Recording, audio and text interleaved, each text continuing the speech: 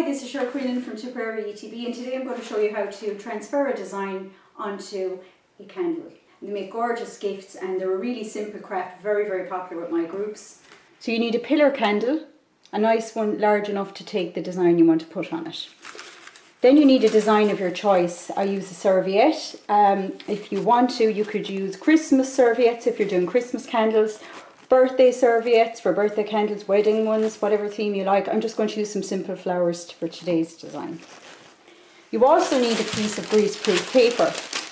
The white greaseproof paper is actually better because you can see your design through it as the process unfolds. And the other thing you need is a hairdryer.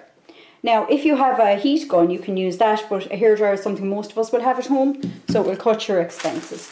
You'll also just need a scissors as well and some sellotape. What you do then is cut the piece of the design that you would like to use from your serviette. And this is again after removing the two back pieces because you don't want a lot of paper on the candle.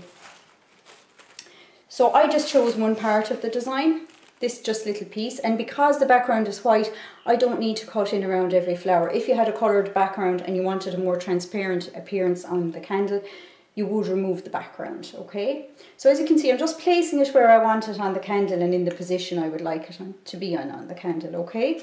I'm going to take a piece of greaseproof paper, and if you wish, you can tape it at the back to hold it. With a little piece of sellotape. So as you can see, that's what I'm looking at right now. And when I apply the heat, the design will slowly melt into the candle. What you want to do is use your hairdryer on the hottest setting. This is the effect I'm looking for here, where the flower is very, very prominent in the design.